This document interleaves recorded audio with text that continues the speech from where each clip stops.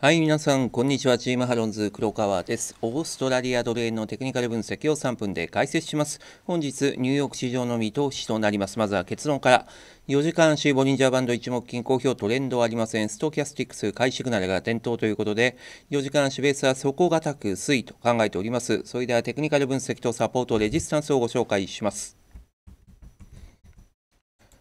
はい、4時間足ボリンジャーバンド、トレンドの方向性を示す赤い点線21本移動平均線、真横を向いております。4時間足ボリンジャーバンド、トレンドレスということです。はい、そんな中、ローソク足と言いますと、レジスタンスラインとしてワークしております。21本移動平均線、上抜けトライ中ということです。4時間足ボリンジャーバンド、トレンドレスです。4時間足ストキャスティックス、強い買いシグナルが点灯しております。はい、4時間足一目均衡表です。ローソク足が雲の中に入っております。明確なトレンドは出ておりません。現在、ローソク足はと言いますと、レジスタンスラインとしてはしております。転換線基準線を上抜けトライ中です。4時間足一目均衡表トレンドレスということです。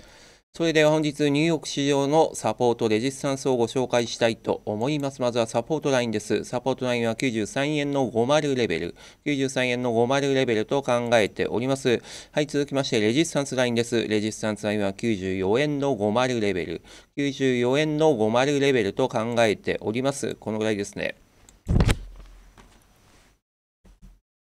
はい、チームハロンズ視聴者キャンペーンのご紹介です。YouTube 概要欄から講座解説をしてキャンペーンにエントリーしていただくと、通常の講座解説特典2000円と新規取引1回1万通貨10ロット以上で、チームハロンズ視聴者キャンペーン特典5000円と合わせて7000円プレゼント中です。さらに取引量に応じて最大100万円、合わせて100万7000円のキャッシュバックとなります。詳細は QR コード、または YouTube 概要欄のリンクより先のページにてご確認ください。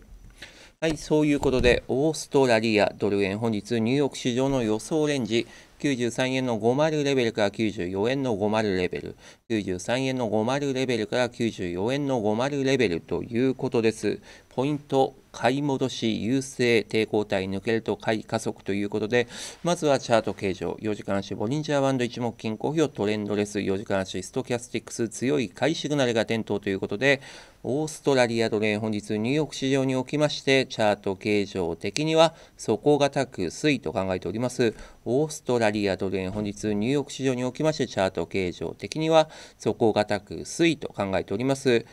はい、ポイントです。買い戻し優勢、抵抗体抜けると買い加速ということで、現在、オーストラリアドル円、買い戻しが優勢となっております。はい、そんな中、えー、オーストラリアドル円、現在、ローソク足と言いますと、4時間足の21本移動平均線94円の17、4時間足の一目均衡表、えー、転換線基準線の94円に、えー、94円の25を上抜けトライ中ということで、終値ベースで、この抵抗体を上に抜けた場合は買いが加速する可能性も十分考えられます。お取引をされる際には十分ご注意ください。最後にグッドボタン、チャンネル登録よろしくお願いいたします。本日は以上となります。